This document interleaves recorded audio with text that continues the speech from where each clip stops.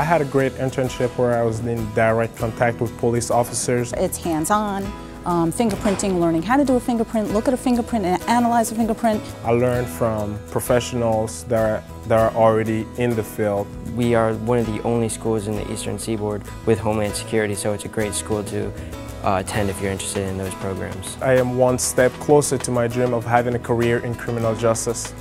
Find your place at Goodwin College.